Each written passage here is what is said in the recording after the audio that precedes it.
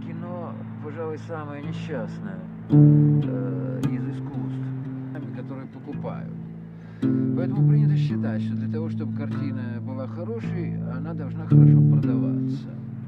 Если мы думаем о том, что кино – это искусство, то этот вопрос э, начинает казаться абсурдным. Продаваться.